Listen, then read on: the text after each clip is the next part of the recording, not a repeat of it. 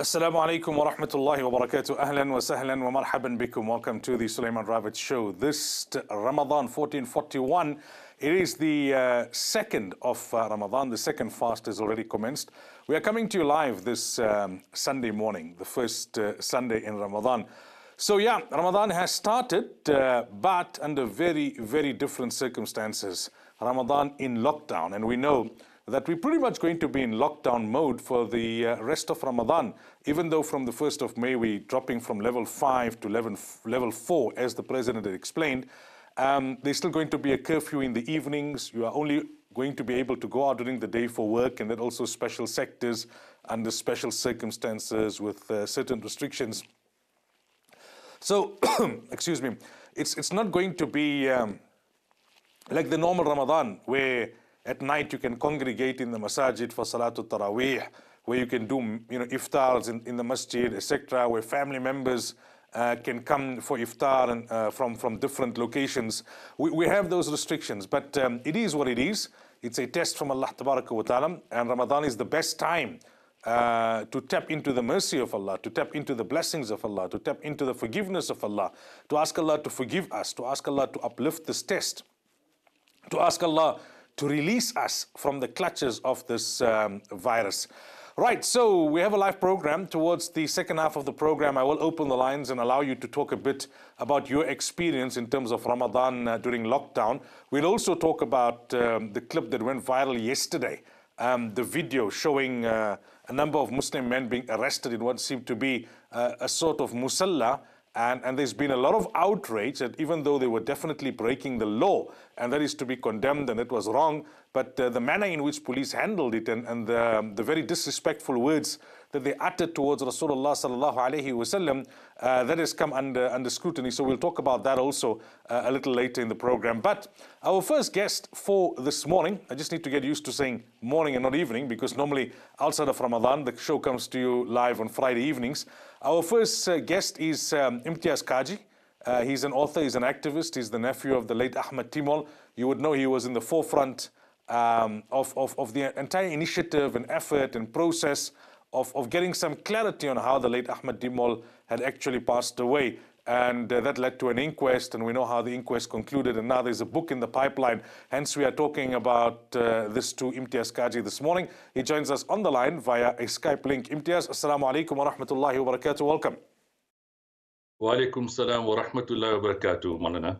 Now, it's a pleasure to have you on the program. It's been a while since we last spoke. Can you just, in, in, in, in, in, in uh, brief, bring our viewers into the picture? Your journey started, you, you had interest about your late uncle, you started reading, you started asking your grandparents, your grandmother in particular, and that led you up to a particular path that culminated with the inquest. Most certainly, Molana. I mean, look, I was only five years old when my uncle passed away. But I spent a lot of time with my maternal grandmother and grandparents, uh, probing them as to what happened to Uncle Ahmed. And obviously, the turning point was, uh, you know, the um, sudden departure of my other uncle, uh, Muhammad Timol, who went into exile in 1978. So from the age of 12, I started probing my grandparents, reading lots of newspaper cuttings to try and ascertain what happened to Uncle Ahmed. Uh, why did Uncle Muhammad have to go into exile? Um, then obviously fast forward the unbanning of the ANC. Um, Ma was very, very reluctant to testify at the TRC. I convinced her Molana that it was important for her to relive her harrowing memory. Um, she then passed on in, 1990, in 1997. Um, we had the renaming of the school by former President Nelson Mandela, where the Azadville Secondary School was called the Ahmed Timol Secondary School. And then uh, the publication of my first book in 2005 titled Timol Quest for Justice, which again was more written as an obedient nephew, uh, putting the biography of Uncle Ahmed in the public domain. And then I started this particular probe, Molana, to ascertain more details on what really happened to him. And with the assistance of uh, Yasmin Sooka and the Foundation for Human Rights, uh, she has set up a team. And uh, with the grace of the Almighty, you know, we were successful in reopening the inquest in 2017 and uh, on the 12th of October 2017, Judge Billy Mothle ruled that um, Uncle Ahmed did not commit suicide, um, as ruled by Magistrate de Villiers in the 72 inquest findings, but that in fact he was murdered. But uh, from 2008, 2009, I've been working on the second edition of the book, um, obviously focusing a bit more on the events leading to Uncle Ahmed's arrest, because the police had claimed, one another that he was arrested purely by chance. And this was something that I had vigorously contested.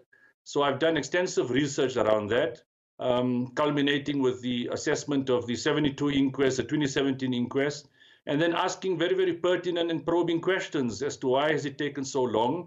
Um, and, and the reality is that, uh, you know, we're still waiting for João, Rodrigues, who, according to his own version of events, was the last person in the room with Uncle Ahmed, and uh, we're waiting for his criminal case to commence.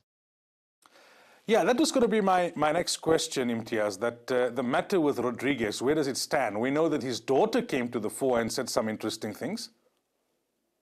Well, that's correct, Molana. So, so his daughter has separately opened a case against her own father of molestation. And I think that that particular investigation is at a very advanced stage. But in the matter of Rodrigues, um, you know, since uh, his first arrest, um, after the inquest on, on the 30th of July 2017, there have been numerous court cases. Um, ultimately, his legal team, uh, you know, requested a permanent stay of prosecution, uh, which was which was overwhelmingly rejected by the full bench of the South Gauteng High Court in July 2018. And uh, they've now escalated the matter to the Supreme Court of Appeal in Bloemfontein, Molana. And the latest is that um, they, as the applicant, you know, they had to they had to file the respective papers by the 27th of April, which was this week. And then thereafter, the, the different respondents have got to submit their heads of arguments. And inshallah, thereafter, we will then hear from the Supreme Court of Appeal whether there will be oral arguments that will have to be heard or, or, the, or, or the Supreme Court of Appeal will make a ruling on his application. Now, all the while, I mean, this journey, the inquest, and now the case against Rodrigues, um, did you get any support from the ruling party, from the SACP, uh, the party to which uh, the late Ahmed Timol uh, belonged, from, from the, the, uh, the heroes of the struggle, those who were in the forefront of the quest for liberation? Look, the reality, Molana, is that uh, there was overwhelming support, you know, up till the uh, up till up till the period when the inquest was concluded, which was October 2017. But uh, since the time that Rodrigues has had his, fourth, his first court appearance, which was the 30th of July 2018, uh, support from the politi- political parties, political actors, political activists has diminished. And the unfortunate reality is that, uh, you know, they will have to account as to why they're not so comfortable with the fact that Rodrigues must face criminal charges. But the contrary is that, uh, you know, I've got overwhelming support from many, many other families. For example, you know, the, the Stephen Bantu Stephen found, uh, uh, Bantu uh, uh, Stephen uh, Biko Foundation in King Williamstown, the Imam Harun Foundation in Cape Town, um, the wife of the late Suleiman Babla Salojee Antirukeya, the family of Mapetla Mohapi, um, uh, Soliman Modipane, Jacob Monachotla, Matthew Mabelane.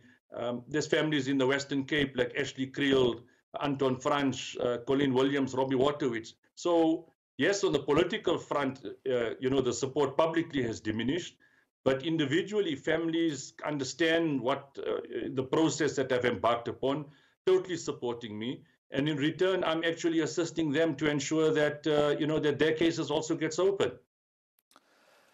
How much of an impact did the, the Timol inquest have in terms of uh, leading to the Aggett inquest? Look, the reality, Molana, is that you know that uh, the, the Timol and, and Aggett matters were presented jointly to the National Prosecution Authority in January 2016. And I was privileged to be part of that presentation where our legal team, led by Howard Varney, uh, private investigator Frank Dutton, and, and also SC George Bizos were present. Uh, and we presented both these particular cases to uh, the former National Director of Public Prosecutions, Advocate Shaun Abrahams, at the time. So the Timol inquest only started on the 26th of June 2017. And the reality is that the Aggett inquest only started so a month ago. So they were both presented simultaneously, both provided with overwhelming evidence that there was enough investigations conducted to show that both matters should pro proceed immediately. And the reality is that there was a four-year gap, a four-year difference, Molana, which has resulted in, in, in, in, security branch officers like Stephen Whitehead uh, actually passing on. Um, and he was critical, um, you know, in the interrogation of, of, of, of uh, Dr. Neil Aggett. I suppose you have the same fear with Rodrigues. He's of a very advanced age. No, most certainly. I mean, he's already 81. Um, you know, they depend on the Constitution. And again, you know, if you read his, uh, uh, his legal team's arguments, Molana, it's got absolutely nothing to do with the merits of the case against their client. But they talk of political interference, they talk of him being granted special amnesty, special pardon, and then they bring about the fact that uh, he was available in 1996 when the TRC uh, allowed uh, my grandmother to testify. Um, he was around in 2002 when I asked the NPA to investigate this particular matter. And why has it taken the state so many years for, you know, for them to approach him? And he's using this as a basis of his argument that he's been targeted, uh, you know, because he's the only security branch officer living directly linked to uh, Uncle Ahmed's murder. And then we should not forget, um, you know, that uh, the likes of Neville Els and Seth Sons, who also testified at the 2017 inquest, and Judge Mothle found that they must be investigated further for perjury. And more than two, two and a half years later, you know, the NPA and the Hawks have to date not even concluded the investigation on Neville Els and Seth Sons. Do, do you have any indication why? I mean, is it is it a case of the NPA perhaps feeling that these matters are now so well and truly in the past that uh, they've got more pressing matters to, to deal with and they want to allocate their resources in, in that direction? What, what, what, what kind of uh, indication do you get as to why they could possibly be moving so slowly on these matters? Look, look, Molana, my sense is that they are simply stalling. They're simply stalling and delaying, waiting for the fact that Sons and Els must pass on, and the same like Rodrigues, who are all in the 80s. But, uh, uh, you know, the full bench of the South Gauteng High Court made it very, very clear that the conduct and behavior of the National Prosecution Authority is unacceptable. They have to be taken to task. And, uh, and, and that is why we eagerly await, you know, for the SCA uh, hearing to take place. And in addition, in addition to that, you know, many of us have supported uh, the affidavit uh, submitted by Lukhanyo Calata, whose dad was part of the Cradock 4, where we're asking the Zondo Commission to investigate the NPA for not investigating TRC cases since 2002, as they are clearly mandated in terms of the Priority Crimes Litigation Unit to have done so. Has there been any pressure put by the families, the Timol family, the Aggett family, and other families on the ruling party asking them that why is the state uh, not doing more? Look, I mean, we consistently put this out in the public domain. And I think the sense one gets is that, you know, that there's, there's just, uh, it appears as if there's a strategy just to ignore us. And I can, I can expand on this, Molana. I mean, we've had two correspondents sent to the president of this country. One from former TRC commissioners uh, requesting President Ramaphosa to apologize to apartheid era victims' families um, uh, and, and, and, and to institute an investigation to ascertain why the NPA has not reopened these TRC cases. And then we as a victims family group have also put correspondence to the president saying that, you know, that this matter must be urgently attended to. And, and we've got absolutely no response from the president of this country. It's also very interesting, you know, that we've just passed the elections, that there's no political party in the election manifesto that talk about the TRC matters, including those on the so-called extreme left. So there's an absolute deafening silence on the part of political parties. Um, the NPA and the Hawks keep on stalling these particular matters, and we totally depend on media, on journalists like yourself, on ITV, and, and the judiciary, because the judiciary has totally supported our stance that it is highly, unex- uh, highly unacceptable for the state to continue dragging and delaying these cases. And that is why we eagerly await uh, the, uh, the SCA ruling on this matter. Now, coming to the aspect of, uh, of the TRC, are you also in support of, of another TRC? Many say, although it's what, uh, almost 25 years later, uh, we, we should have another TRC because there were too many loose ends, too many unanswered questions um, from, the, from the first TRC, and then many things that were not followed up on. The principal matter, Molana, is that the TRC was set up to allow victims and perpetrators to come together and to reconcile. But the principal basis was for, for apartheid era perpetrators to make full disclosures and full confessions. That was the principle of the TRC. And the unfortunate reality is that you find it till today. If you hear the likes of Joe Rodrigues, you hear the likes of Deercliffs in the Aggett matter, they take absolutely no responsibility. You hear the likes of former police commissioner Johan van der Merwe, who will still justify that they were under attack from the ANC and liberation movements, and they were simply defending themselves, uh, supporting a racist apartheid regime. So the principle is that even now in the Rodrigues matter, if he is willing to make a full disclosure, explain in detail as to what really transpired, how he was part of the cover-up, who gave him the instructions, I don't think families have got a problem to accept their version. But the unfortunate reality, Molana, is that they take absolutely no responsibility. They uh, defend their actions and they operated with impunity and they expect us as victims, you know, to continue reaching out to them. And when we do so, we do so with a very soft heart, with kindness, with generosity. And I think many of us feel that this is simply being abused. So you've written one book. Now there's another book that's about to be released. Tell, tell us about the second book, or what's different about this book? Why did you decide to write another book? Look, as stated earlier, Molana, the first book was written as an obedient nephew. The biography of Uncle Ahmed was never put in a public domain. Um, and there were many, many issues that were unattended. And I would refer to them as there were many, many pebbles in my shoe that had to be dealt with. And in this particular book, obviously for the reader, there's some background information given about Uncle Ahmed's journey, his capture, and so forth. But then I, I, I directly confront the issue about his arrest. And there I've conducted my own investigation to dispel the police version of events that he was arrested purely by chance.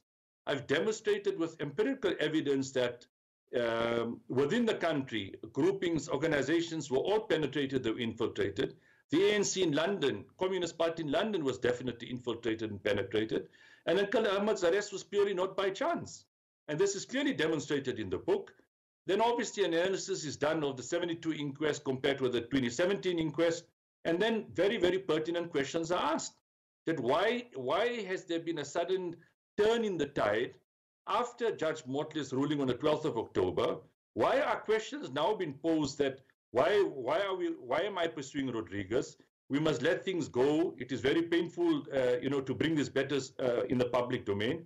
But we are very comfortable and convenient to selectively remember our past, selectively pay tribute to our heroes and heroines and our martyrs.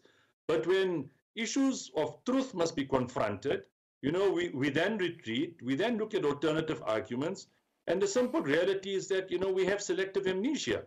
And I think these are the issues that uh, are, are, laying the basis and foundation, inshallah, with the grace of the Almighty, for a third book, where the issue of transitional justice will be confronted, and specifically dealt with the issue of Rodrigues as to why has it taken so long, you know, for this matter to uh, uh, to unfold itself. And in that particular way, you know, I can officially close the chapter on the killing of my beloved uncle.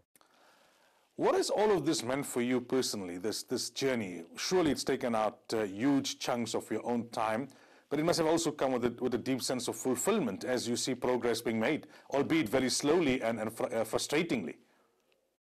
No, no, most certainly. You, you know, look, Molana, with anything that we need to do in life, we need to put effort. There's effort, there's energy that needs to be put in. And I'm, I always remind myself that there are many others who've put in more effort than I have and have not seen any fruition of the work that has come out. So I thank the Almighty all the time that yes, He's closed many doors for me, but in the contrary, He's opened many new doors for me. And you know, I've got many, many other families out there that are totally depending on me for their guidance, as clearly outlined by Nkosinathi Biko, you know, who spelled this out in the forward of the book. Yes, it has taken a huge toll on me, but this is a price that one has got to pay, you know, when you confront the truth. Because those that are complicit, those that have been compromised, are not going to be sitting willingly. You know, they, they, they approach all sorts of different methods, you know, to make sure that they derail me. But again, fortunately, with the grace of the Almighty, they've been unsuccessful. And I'm totally committed to take Uncle, Uncle Ahmed's matter forward and in the same manner to do exactly the same for many, many other families. Finally, Imtiaz, uh, just tell the viewers, when will the book be published? What's the, what's the title of the book and uh, where will it be available? Look, Molana, the book is titled uh, uh, The Murder of Ahmed Timol and My Search for the Truth. Uh, the unfortunate reality is with the pandemic and the lockdown, um, you know, Jacana have only succeeded in publishing an e-book. And obviously, you know, many of us are still old school. We like to read a physical copy where we can turn pages and look at the pictures. So currently it's available on Amazon and Kindle. And, uh, you know, full data, details available on my website, www.ahmedtimol.co.za. But at the moment, there's no uncertainty as to when the actual printed copies will be made available to the public and uh, when, inshallah, we will be having public book launches. Anyway, all the best and shukran so much for your time this uh, Sunday morning during the month of Ramadan. No, it's once again, Molana, to thank you, to thank ITV, because these are platforms that are very important that keep the legacies of Uncle Ahmed, Uncle Babla, Imam Harun in the public domain. And we can never forget, with all the challenges that we have in this country, there were brave men and women who sacrificed their lives in order for us to live in a democratic South Africa. Without a doubt. Imtiaz Cajee, shukran so much for your time. Really appreciate it. It's only my pleasure. Assalamu alaikum wa rahmatullahi wa barakatuh. That was Imtiaz Cajee, the nephew of the late Ahmed Timol, talking to us about uh, the second book of his that's about to be published. And prior to that, he was talking to us about the entire journey, the entire process. One thing, you've got to admire the man's uh, determination. And um, he's being very, uh, you know, persevering in trying to get uh, to the truth. There's still some way to go, but he's made um, a lot of progress. Sometimes people may say, but, uh, you know, we know what happened in the past why do you have to go about proving it? But for the families, it's important. And I suppose uh, for history also, it's important. And, and, for closure also, it's important. We are going to take a break, but I want to just uh, remind you the lines are open 011 086 0000. And uh, we're going to ask you to tell us what's, what's Ramadan been like. So this is the second fast. So far, how are you experiencing Ramadan during lockdown? And I also want to talk about that video that went viral yesterday. Uh, Muslims, unfortunately, uh, breaking the law and congregating for prayer somewhere in Mpumalanga. Uh, but then police coming in and, and, putting a cocked gun to the head uh, of someone who was obviously not posing any danger. And uh, also then uh, making statements that were derogatory against Rasulullah sallallahu alaihi wasallam. We, we take those points and we, we have a discussion around that. The lines are open. we talk to you after the break.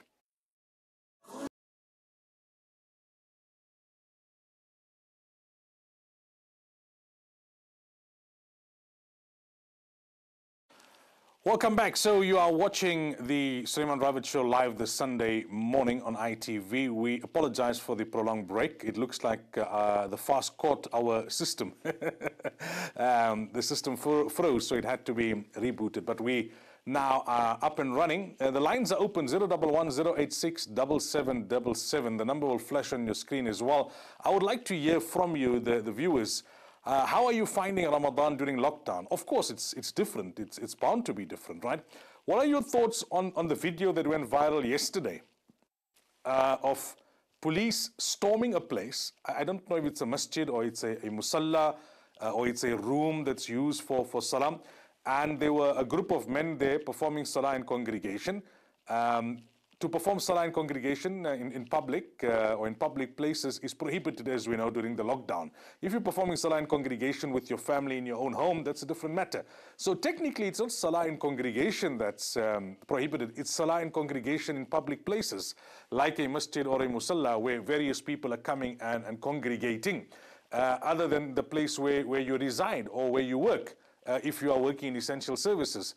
Uh, so what they did was clearly wrong. They, they broke the law. Uh, they are at fault. Uh, but there were many who came out, including um, the DA Shadow Minister for Police, and said there was disproportionate force that was used. Uh, no need to put a gun to a person's head. They were clearly unarmed. They may have been putting up an argument, trying to explain them, themselves, but they, they were not resisting physically or in, in any way. I'll continue with my thoughts. Let's take the caller. Assalamu alaikum wa rahmatullahi wa barakatuh. Wa alaikum assalam wa rahmatullahi wa barakatuh. How are you, bhai? Alhamdulillah. Who am I speaking to? You're speaking to Mr. Mohammed, Mohammed Majoka, Mohammed Akbar Majoka. And where are you calling from, brother? I'm calling you from Port Shepstone. Talk to in, me. In, uh, in south coast of KwaZulu-Natal. Mm-hmm. Nice to have you on the program. Go ahead. Alhamdulillah. But I, I, saw the visuals of that uh, of the incident that took place in Mpumalanga. It was shocking for me as a Muslim um, when the police entered, uh, this, I think it's a musalla, and they uh, entered with the shoes without respecting the, the people that they, they were engaged in salah. And uh, to me, I think our Muslim community could have done more in the sense of uh, of uh, of getting the government to to recognize our issue during the month of Ramadan uh, for the for the for the Taraweeh Salah. Brother Mohammed, let me ask you a question, right? There were many people yesterday after that video went viral who said, look, uh, what these brothers, these Muslim brothers did was wrong because they were congregating in public against the regulations. But what the police did was also wrong and they need to be called out for it because they used disproportionate force. And people were particularly offended by, by the comment that they made about uh, Muhammad sallallahu alaihi wasallam, the Prophet of Islam. Uh, however, the EFF have come out and said, no, there can't be special treatment for Muslims. You can't expect, um, you know, uh, police to take off their boots when they're coming to arrest people. Uh, I saw a tweet of Nazir Paulsen earlier this morning who said, all the blame is with these brothers who broke the law by congregating. Whatever happened after that, if it's wrong, it's, it's their fault. And, and that, that has been the sentiment of some Muslims as well, who said they put themselves in that predicament, and because of them, uh, our, our, our Prophet ﷺ was insulted. What's your thoughts on that? Um, okay, on, on, from my side, as a, as a Muslim brother, I also I do apologize uh, the, to to contravening the the situation of the safe the safeness of our, our health, and also another thing is that uh, we also the brothers that were performing there, they also they, definitely they broke the rules of uh, congregating there because there were uh, there actually no space for them even to to move even one meter or two meter apart they were congested in, in mm. fact in the small no social room. distancing yes no no social distancing on that that uh, that part yes i do but when it comes to even that so uh, i think it should have handled in, in a different manner in the sense of saying yeah. okay these guys are engaged in a in, in some issues okay they broke the rules so let's go in uh, and uh, and do whatever we have to do but respect the, the conditions all right, Brother Mohammed, shukran so much for your call. Really appreciate it. Also, brother, I just want to say that uh, regarding the international uh, international Muslim uh, party, I think uh, we should get our some of our international brothers to get involved in, in, in a sense of uh, put more put more pressure towards the government so we can at least have, even we have the social distancing, but let our, our salah go on. All right. Jazakumullah for that call. That's Brother Muhammad out in Port Shepstone. The lines are still open 011 086 7777. One is the video that went viral yesterday. I see the Jamiat also took out a statement. The Sunni Ulama Council also took out a statement saying what the brothers did was wrong. They were not supposed to have been performing salah in congregation in public. But on the other hand, um, citizens, even when they do something wrong, you know, apart from lockdown, uh, if you break uh, the law by, by jumping a robot, uh, or by speeding on the highway, it doesn't mean that uh, you can be treated as, uh, as in any way that is deemed fit by the authorities. You still have rights. There's still a rule of law that needs to apply. So police need to be called out if, if they went beyond what they're supposed to do by, by using guns and putting it to people's heads under such circumstances, and especially that, that, that derogatory remark about uh, the Prophet of Islam. Let's take the next caller. Assalamu alaikum wa rahmatullahi wa barakatuh. Morning. You've got to turn down the volume on your TV because we're getting feedback, brother. Morning, how are you? I'm good. You're live on air. Talk to me. Okay. I'd like to put a complaint here regarding government, what it's doing. Hmm. I'm also a member of the Zion Church in Nagina, Mariannhill. Okay. You know, when we go to church and pray, when we together, the God can hear us. When you by yourself, sometimes the God can hear you as well. But it's, it's more strong when you're together with the people. He, he treated us like shebeens. He's putting us with a shebeen.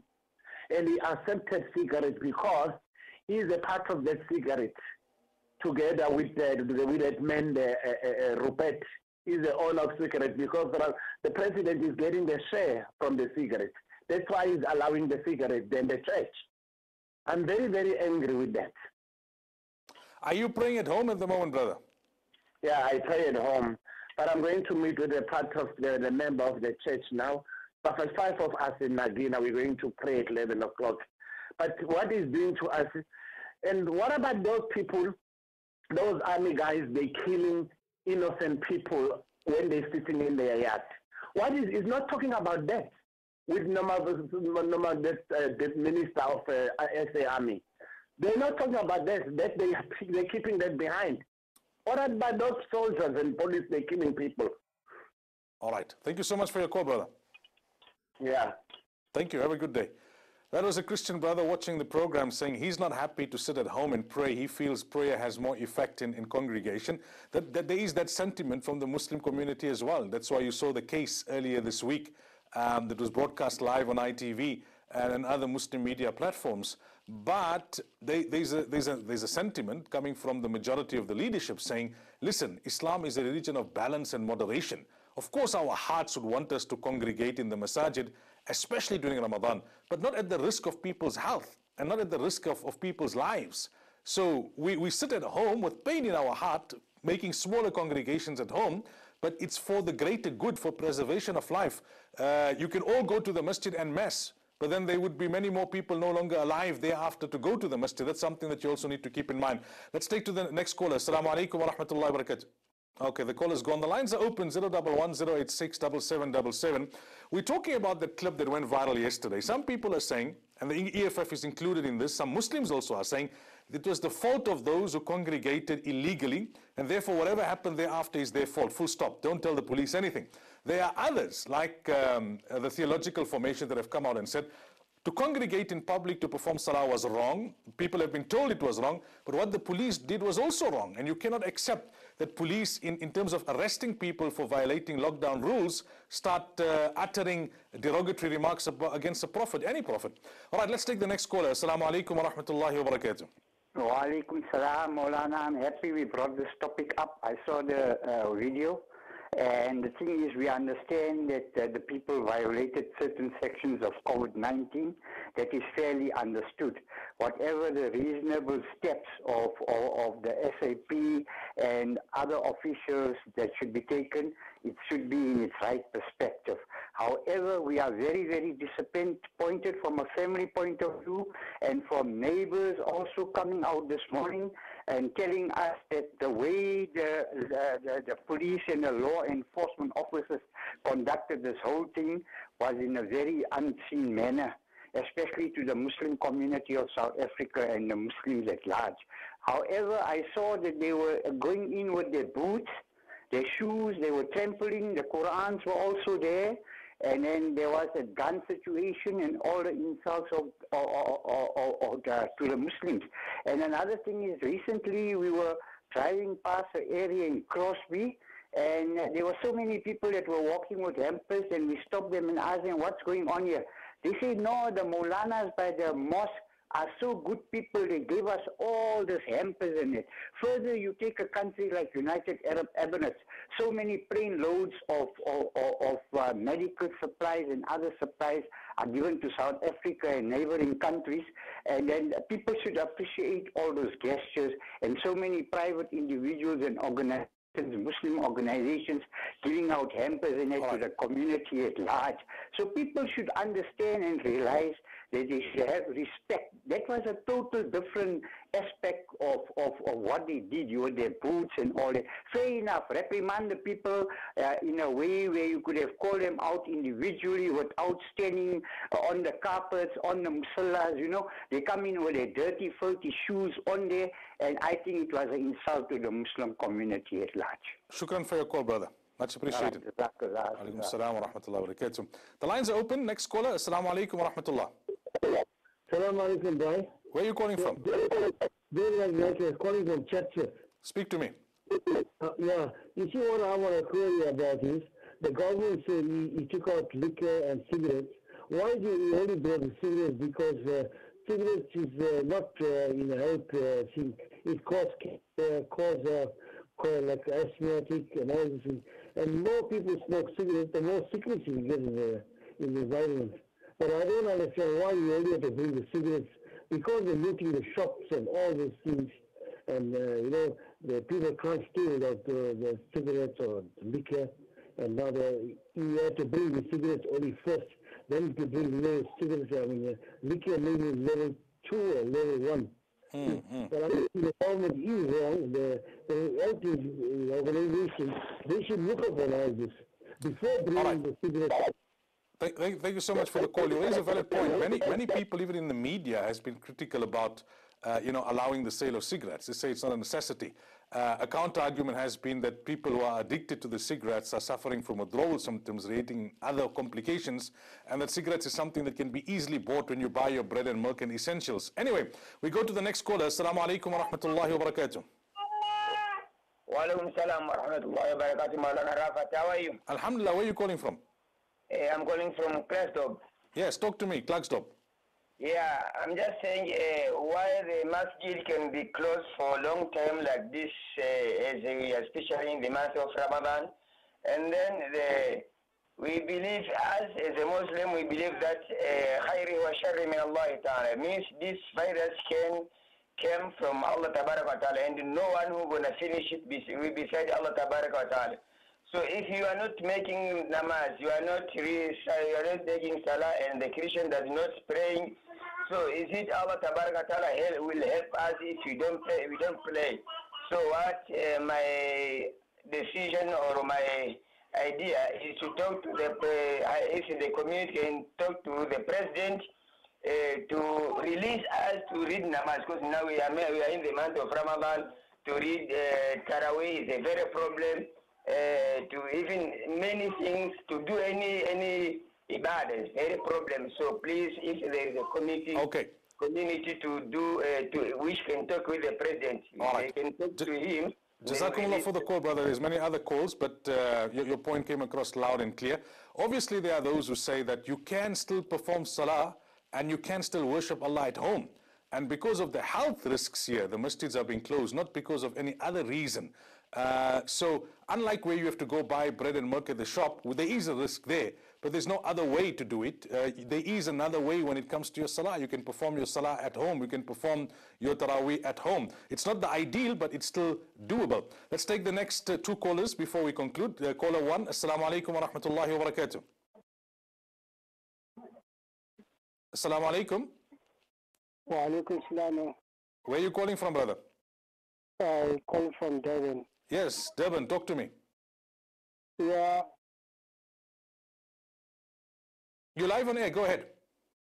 yes, yes, I can hear you. Uh, I just uh, I just want to com- contribute about this. What uh, what he, he was doing, the president is not right. For closing um, masjid and, and, and, and all the church and allowed it, and other, other others company like uh, taxi to every 75 percent. Hmm. I, I think the response that has been given to that is that they've made allowances for taxis because there are some people who are so poor that if they don't work for the day, they don't eat for the next day. And, and there's no alternative for them. Whereas when it comes to the masjid, there is an alternative. You can perform your salah at home. Uh, but yeah, that argument that you raise is an argument that, that is being raised constantly uh, by, the, by some in the Muslim community, in the Christian community, and other communities as well. Let's take the last caller. Assalamu alaikum wa rahmatullahi wa barakatuh. Wa alaikum salam. How are you, Sheikh? Alhamdulillah, where are you calling from? I'm calling from Peter Marisbeck. Pietermaritzburg, talk to me. Y- yes. What I what I my request is between Usala and uh, and the police, who really try to break a regulation for the COVID nineteen? Because uh, because to me it seems like the police they went to break the COVID nineteen regulations because they went in the mosque without without uh, wash their feet, without uh, wash their body, what, whatever the regulation that we're trying to follow. But as a Musalla, they went in the mosque, they keep their regulation, they, wa- they wash their body according, uh, according, to, to, to, according to our disease that we're trying to say. So to me, it seems like uh, police, they really they broke our uh, COVID-19 regulations. Okay, Jazakallah for the call, brother. Unfortunately, we're out of time, so I can't take any more calls, but really appreciate it.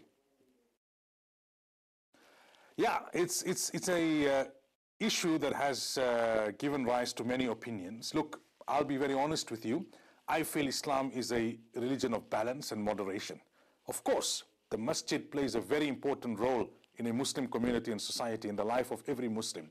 Uh, but Islam has given us alternatives. Salah is permitted outside the masjid. Salah is valid outside the masjid. And these are very exceptional circumstances. Um, there are other diseases that are more deadly, but the infectious nature of this disease um, where, where within weeks an entire country can be crippled. In, in a situation like that, you rather be safe than sorry. You rather err on the side of caution. And I personally think the decision was right uh, to ask for the closure of not only the masajid, but all the, the religious places as, as a safety measure because there is an alternative. You can perform salah at home. It's not ideal, but it's an alternative. Your salah is still valid. And uh, because of the circumstances, your reward will not be compromised. Yes, we don't feel nice to be reading Taraweeh at home amongst a few of us when we're so used to reading it in the masjid, to be making iftar alone when we're so used to making it in the masjid. But this is about life. This is about people's health. This is about uh, you know stopping uh, South Africa becoming an Italy or a Spain or even a, a, a United States as we see. Now, if there are inconsistencies other places, we should not say, okay, because they're not doing it, we won't do it. We, we need, as Muslims, we need to show that we'll be more responsible um, that we only we won't do something only because government says now it's a lockdown. We'll do it because that's what's necessary to do under the circumstances to preserve our own health and to preserve the health of people. Um, there was a story this week about a masjid in, in the UK where only the masjid was closed to the public. Only five people were congregating daily, the two imams and three others, so that the salah could be performed. Both the imams got the virus. Both the imams have passed away, and the other three have, have contracted the virus. So this virus is very infectious. It spreads very, very quickly. Uh, and, and, look, did government uh, overdo it? Perhaps. It's uncharted territory. You'll never be able to say, and I don't think in the future also you'll be able to say whether it was exactly right or exactly wrong, whether it was too long, too short. The debates will continue. But let's remember that the attempt was to preserve life and to preserve people's health. As far as the video of, of yesterday is concerned, um, I have the view, similar to many of the ulama bodies who have released statements, that those people who went and performed salah in congregation in a public place were wrong. And we need to condemn that wrong and we need to remind people once again, as we've been reminding them all along, that, uh, you know, perform, uh, perform your salah at home. Stay within the regulations of the lockdown. However, that does not absolve the police. There are different levels of, of, of, of wrongdoing. These were not rapists or murderers, right? Um, even rapists and murderers have rights how you arrest them, how you treat them. This is all enshrined in the Constitution. So the manner in which they went there, they were, they were uh, they disproportionate in their reaction. These were not armed people. These were not people physically retaliating. They were verbally trying to explain themselves. There was no need to put guns to heads, and there was absolutely no need to make a derogatory statement against the Prophet Muhammad because that offends all Muslims including the majority of Muslims who are obeying the rules and, and, and, and uh, staying at home because of, of lockdown. I see Bheki Cele has released a statement this morning uh, condemning the lawyer who offered his services free and told people go out and, and perform salah in congregation because the judge allowed people to congregate in the court. Um, the lawyer subsequently said his comments were misconstrued, although many are saying that they, they, they were so categoric, emph emphatic, and repeated in, in that video that has gone viral that how can it be misconstrued? But take that as a retraction if you like. But I'm just wondering, and I want to, I want to conclude on this. It's so sad for me. It looks like this COVID-19 has united many people around the world so that they focus their energies on combating the virus. But the Muslim community in South Africa has become so divided over this issue that every incident now, whether it's uh, a masjid where some people violate, or whether it is an informal settlement, or whether it, just divides the community. The, the, the, discussion has become so charged, so toxic, so emotive that um, you know it's almost like people have settled into camps on the issue, and, and there can be no balanced, moderate, um, you know, uh, well thought out, structured discussion, and that's very sad. My heart and my, my, heart really aches that this issue has split us in the way that it has.